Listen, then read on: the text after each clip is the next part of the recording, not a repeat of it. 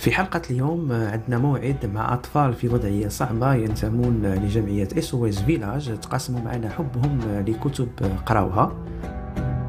تلاقينا بمراكش بقيدوم الكتبيين بالمغرب. عمر زويتا اللي قضى عمره كامل في بيع الكتب القديمة غادي يحكي لنا قصته مع الكتاب. ولقاء مع الكاتب والإعلامي ياسين عدنان تحدثنا حول روايته Hot Maroc مراكش الكتابة بصفة عامة. آه، ياسين شكرا على الاستضافة شكرا على القهوة. آه، السؤال الأول هو بالنسبة لرواية هوت ماروك الطبعة الثانية في العربية. آه، ترجمة الفرنسية ترجمة الإنجليزية. واش كنتي كتنتظر هذا النجاح للرواية؟ هو في الحقيقة في الأدب النجاح نسبي. ما كتقدرش أنت النجاح الذي يعنيك في لحظة الكتابة هو أن تقبض على الشخصية ديالك مزيان أن الحب كتكون مقنعة لك اولا أساسا لأن أنت أول قارئ لنفسك. هذا هو إلا حسيتي بأنك نجحتي في بناء رواية مقنعة فيها حد من التشويق من المصداقية بالنسبة للشخصيات والأحداث أيضا كاين بناء اللي هو محكم وأيضا مشوق. هذا هو النجاح. هي شخصية مغربية محضة. آه، علاش الاسم ديالها رحال؟ آه، رحال العوينه هو آه، رحال لأن أنت كتعرف في الفضاء هذه ربما من أهم ما يتحقق في هوت ماروك هي أنها يمكن أول رواية مغربية انتبهت للعالم الافتراضي لأن إحنا كنكتبوا على المدينة والقرية والمقهى والمطعم والمعمل والسوق ولكن الفضاء الافتراضي كنعيشوا فيه وما كنكتبوش عليه. هو فضاء من فضاءات العيش. لهذا كتبت عليه من نهار بغيت نكتب عليه عطيت شخصية اللي مدمنة آه، في الإقامة ديالها في الفضاء الإلكتروني.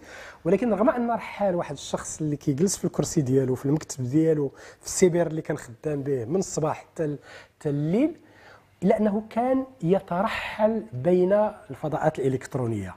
يعني أنت كتعرف ملي كتدخل الفضاء الإلكتروني الافتراضي كتولي كدوز من يعني كتولي في حاله ترحل دائم. اذا هو رحال بهذا المعنى بالمعنى الافتراضي. واش ممكن نقولوا بأن العالم الافتراضي أه أعطى أعطى أخيرا بعد محاولات عدة أعطى الرحال واحد المعنى بالنسبة لي للحياة ديالو. لا هو ما عمر رحال تحقق ذاك ال self-realization ذاك التحقق الذاتي ما عمره حصل له إلا عبر الإنترنت إلا في الفضاء الإلكتروني. لأن رحال اولا شخص جبان آه، شخص محقور شخص ما عندوش قدرة على المواجهة تاع الناس. حياته كلها عاشها جنب الحيط كما يقال. آه، بعيد عن أي احتكاك مع الناس كيحس دائما بأنه أي شخص إلا فهو أقوى منه كيعرف حسن منه.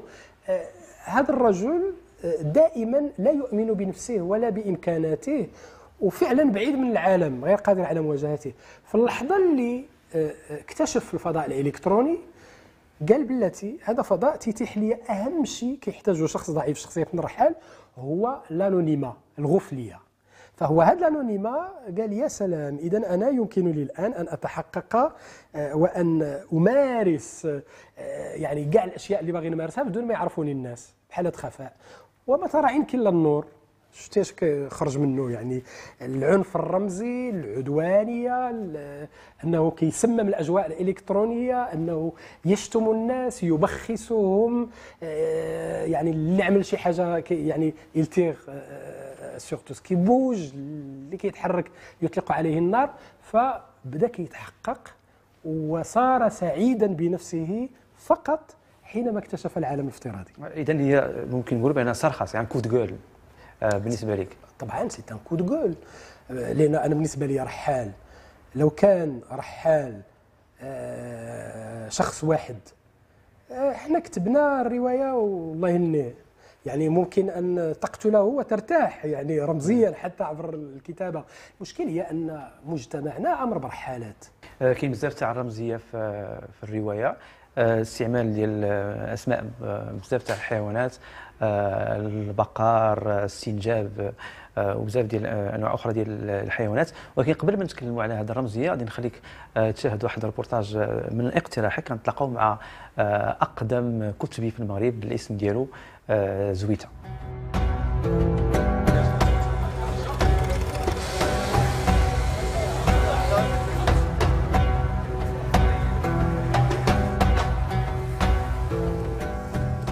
البداية كانت في 59 في الدار البيضاء. المهم مشيت خدمت في واحد الفران في درب الشرفه في الزنقه 18 أنا خدام في الفران واحد جات واحد المرأة قالت لي عافاك جيب شي كتب حرقهم. كذا قلت لها واخا فين قالت لي في الزنقه 21 مشيت مع هذيك المرأة جبت هذوك الكرتونات بديت ندير هكا. لقيت فيهم شي كتيبات. مزيانه وجيت شوية حطيت واحد نيت واحد القصة ديال يوسف السباعي بديت تنشوف فيها وبديت تنعزل هادو الكتيبات. واحد النهار ما عندي فلوس ما عندي والو. وأنا نجرب هذاك الشيء. دوك ربعة الكتيبات غير ربعة منهم. ديتهم درب غلف في العشية. حطيتهم بديت نشوف فيهم. بعتهم. هي الفكرة هذه هذه هي البداية الأولى. ومن جملة اللي لقيت أنا في أنا ديك الساعة وهو لقيت واحد الكتاب اللي كان ديك الساعة ديال سلامة موسى مشهور. هو حرية الفكر وأبطالها في التاريخ. هذاك الكتيب بديت تنكون خدام في الفراش وتنستنى الخبز يطيب وتنبدأ نحاول الكلمات نجمعهم أنا ماشي قاري. أنا وتنبدأ. هذاك أثر فيا. طيلة سنة بعد تيجوا الطلبه عندي تيبوا يسخنوا في الفران ولا شي تنبدأ نناقش معاهم هذيك هذه الفكرة هذه الفكرة هذه فلسفيه بدات دخلت لي الهجيس ديال الثقافة وخصوصا. هذه هي المرحلة الأولى ديال الكتاب. أصبحت يعني عندي هاجس إلا كنت خدام تنخدم كنت ما خدامش تنخرج الكتيبات ما يخدم في الأيام تنبدا نشري كتيبات اللي جارة تنبدأ نحط فيها. تنحط في ساحة ولا في طلعة الحفاري. ودخلنا الهاجس ديال الفكر العلمي. تسمع الفكرة وتتبدأ تنبش شنو هي ديك الساعة. الطلبه كان ولكن هذا تنسميه عصر الزهر. الطلبه ملي كانوا طلبة. المغرب راه يفتخر بالعقلية ديال التسجيلات البدايه ديال الطلبة. راه ماشي هي. راه طلبة كنا واحد تنوير إلا تنسميو عصر النهضه التنوير حنا كان عندنا عصر التنوير. الستينات البداية اللي كانت الطلبة. يعني ماشي الطالب كان طالب نيت كيجلس معاك وتيوجهك وتتوجهه وكذا. هذا هو. ايوا هنا بديت ثاني العلاقات مع الكتاب. هنا في القريعه ثاني في القريعه تنفرش في العشية. بدأت هذه المرحلة بانتقال بين مراكش والدار البيضاء. بديت بين الفران. من الف... تنقول لي أنا من الفران. سخون ولكن دخلت الفران أسخن منه هو عالم الكتاب.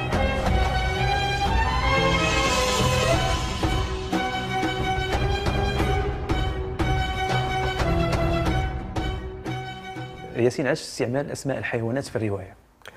لا هو الحيوانات في الحقيقة ماشي يعني الحيوانات آه، آه، اولا أنا عندي كل شخصية عندها قرين حيواني.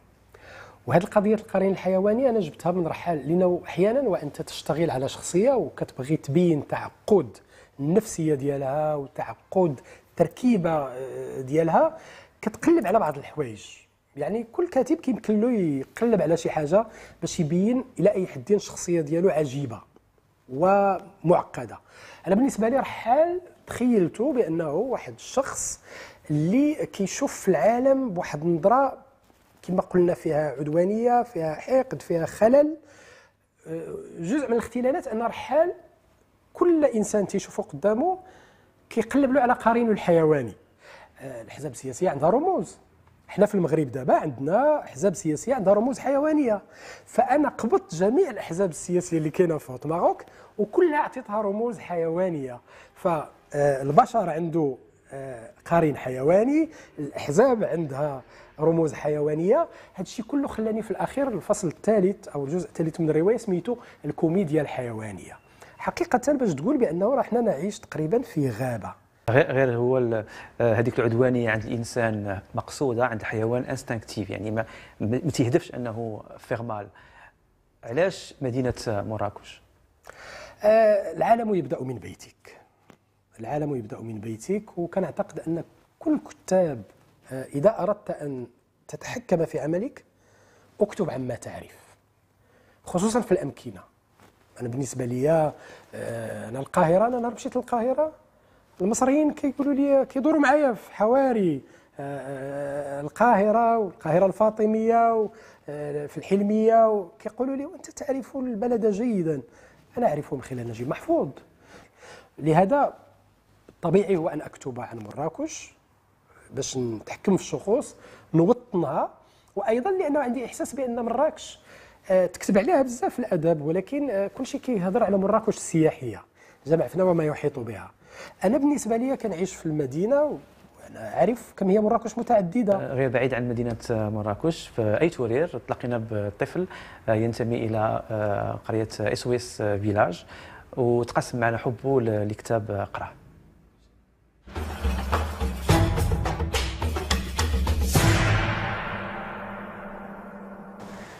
الكتاب اللي غنتكلم عليه سميتو روبنسون كريزو. آه، المؤلف نتاعو هو دانيل ديفو. دانيل ديفو كيحكي علينا واحد القصة حقيقية واقعية اللي وقعت لواحد الفتى سميتو روبنسو اللي بغى يكون محامي ولكن باباه آه، آه، بغاه يكون اللي بغى يكون مغامر ولكن باباه بغى يكون محامي بغى يكون محامي. ولكن واحد السفينة كانت غادية لإنجلترا. فاش كانت ديك السفينة غادية لإنجلترا؟ تشقات به. فاش تشقات به آه، داتو لواحد الجزيرة. فاش داتو ديك الجزيره فاش داتو ديك الجزيرة آه، آه، ولف على الحياة الحياة الحياة اللي كيعيشوا بحال الحياة اللي كيعيشوها الحيوانات. وتما تعلم يصنع الصوف تمنى يصنع تعلم يصنع الصوف والأشياء الأخرى. كبحال كبحال الطعام والطين وداك الشيء. وفاش آه، فاش تعلم يصنع داك آه، فاش تعلم يصنع داك الشيء؟ آه، جات واحد السفينة أخرى داتو ويرجع للوطن تاعو عند عائلته بعد غربة 35 سنة. سميت الكتاب السر الخطير بقلم عبد الرزاق الأزرق. الملخص ديال هذه القصة هو أن جوج الأصدقاء قرروا باش يعرفوا باللي أن واحد المنزل قريب من القرية ديالهم اللي كيسكنوا فيها هو واحد المنزل كتجي ليه كل شاحنة في آخر الأسبوع وكتهز صناديق عامرة بالحوت وقرروا باش يعرفوا شنو اش كيديروا اش كيديروا بهذاك الحوت كله. فاش ومن بعدها كيدخلوا لهذاك المنزل وكيلقاو باللي كيخبيو في هذاك الحوت المخدرات وكيهربوهم لدول وحدة أخرى. وقرروا باش يديوهم البوليس ولكن لقاوهم واحد الراجل باللي هما خارجين من هذاك المنزل وحبسوهم تما. وقرروا باش يصيفطوا واحد الرسالة للقرية ديالهم باش يساعدوهم وهما عيطوا على البوليس وجاو للبوليس وشكروا بدر والصديق ديالو على هذا هذا الشيء اللي داروا باش باش يقرروا يعرفوا هاد المهربين. استفدت من هذه القصة. أن رغم المخاطر والمخاوف ديالنا خاصنا نعرفوا الحاجة اللي مخبيها هذاك السر أو هذاك الحاجة الكبيرة أو شي حاجة مثلا مخبية خاصنا ضروري نعرفوها وحداقاش ممكن تضرنا وتضر الناس.